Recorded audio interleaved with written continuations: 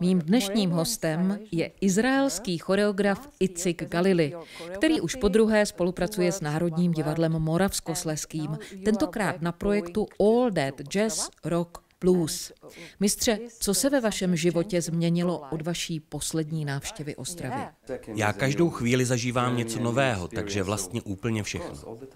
A jaká práce vás opět přivedla sem k nám? Už jsem zde spolupracoval na projektu Dva svět, jeden svět a navázal různá přátelství. Když mě oslovili, abych se zúčastnil další práce, tak jsem se rád vrátil, abych nastudoval svou choreografii pro projekt All That Jazz Rock Blues, který uvádí Národní divadlo Moravskoslezské.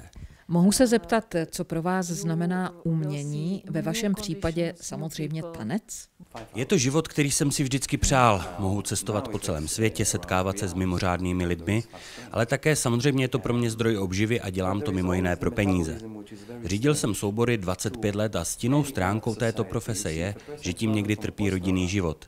Já naštěstí mám skvělou rodinu a skvělé děti a tak se snažím už tolik necestovat.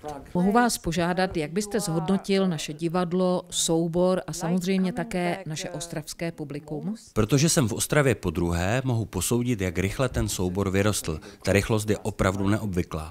Takže jsem velmi rád, že mohu spolupracovat s Lenkou Dřímalovou. Je to, myslím, hlavně její zásluha, že jsem zde našel soubor čerstvý, mladý, s výjimečně pozitivní mentalitou, bez negativní energie. Velice si cením práce celého souboru i Lenky, která má velkorysý záběr i smysl pro detail a to je překrásné.